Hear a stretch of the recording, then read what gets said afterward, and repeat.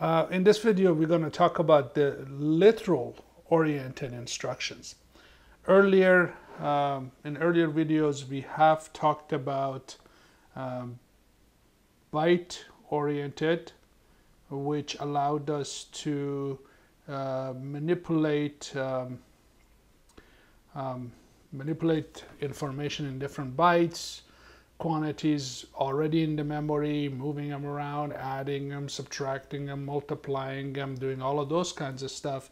And what we're doing, we, and then we went to the bit-oriented, which allowed us, this bit-oriented instruction allowed us to, um, should have spelled it out, bit-oriented instruction allowed us to manipulate a single bit that already is in the memory the literals, these, these, these type of instructions allow us to take a constant and manipulate the stuff that is in memory with the constant. So this is really the only way we can integrate a given constant like an integer 15, 20, 30 uh, into operation using assembly code. So these instructions are very useful when you want to bring a constant into your equation and and they're pretty much set up all the same way.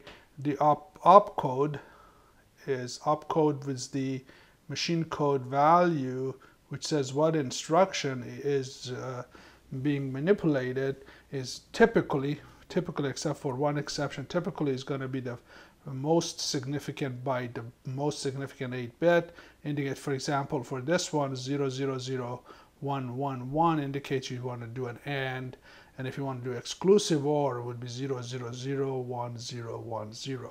And then these 8 bits, which are represented by K, K representing the constant is a value. So for example, if the number you want to work with is 25 hex, then the value for this would be, for 2 would be 0, 0, 1, 0. For 5 would be 0, 1, 0, 1. So these would be the values you put in K. Okay. Now, one of the other things, since this is so straightforward um, and um, there, aren't that many um, um, literal oriented instructions, I would like to take this opportunity to take a little bit of a tour of how we would um, take, uh, if we wanted to get more detail about an instruction, where would we go? Uh, one of the things I wanted to mention, this particular instruction is called an LFSR instruction. Is for indirect addressing and we're going to leave this one until much much later in the com 6 uh, chapter 6 uh, um, uh, presentations. That's where we really get into what an indirect addressing is and how how you deal with it. So let's go for example let's say let's say you you wanted to figure out uh, what X, this XORLW is all about. It says it's an exclusive or literal with W, but you want to learn more about it. You want to get all the details that goes with this. Where do you go to get that information? As we mentioned before, the watch where you go is you're going to visit um, the you're going to visit the um, engrcs.com and while you're there um, we have all the data sheet for all the components listed there. Uh, so so we're going to go over there and take a look at that. Um,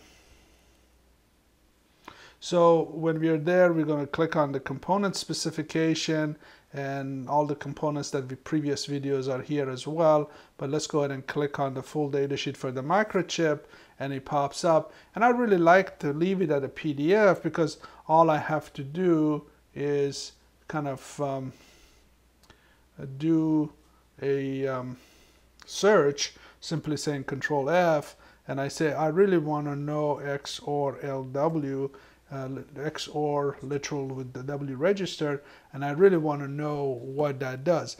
Now if I start from here and I'll do that just to show you if I start here what's going to happen if I start to do this it's going to walk me through every oh uh, that was a little faster than I expected uh, so uh, typically walks you through a lot of stuff so sometimes it's easier if you just jump all the way down to where um, all the instruction sets are with chapter 20 and start searching right there.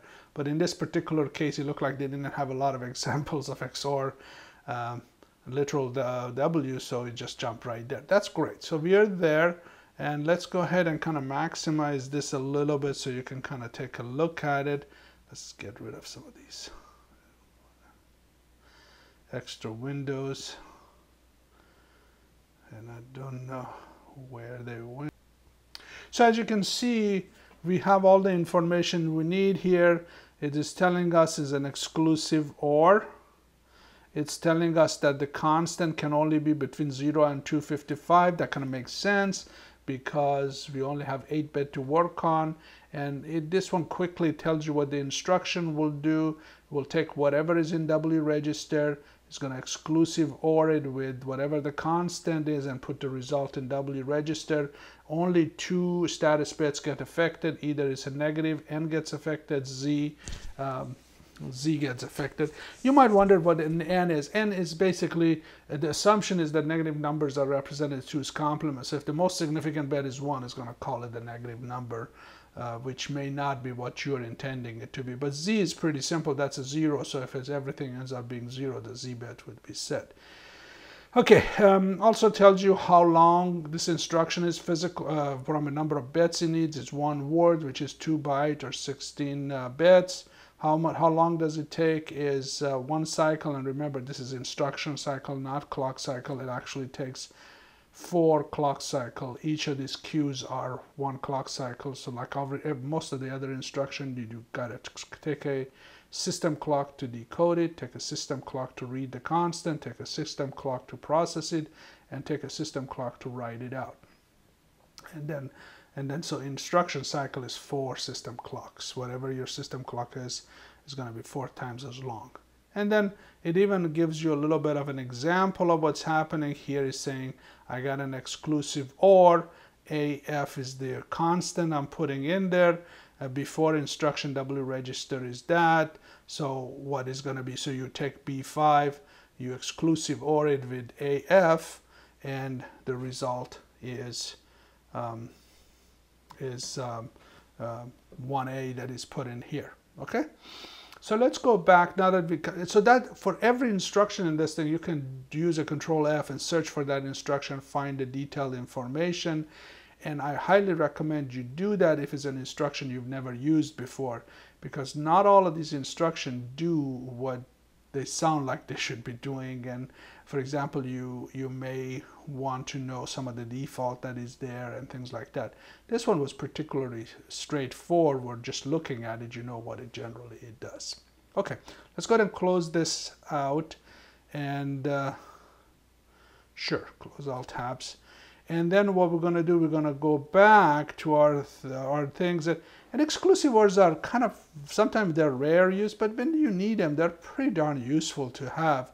Let's, let's take a moment and um, take a look at um, so take a look at the exclusive OR a little more detail. Let's say let's say uh, someone tells you that uh, W register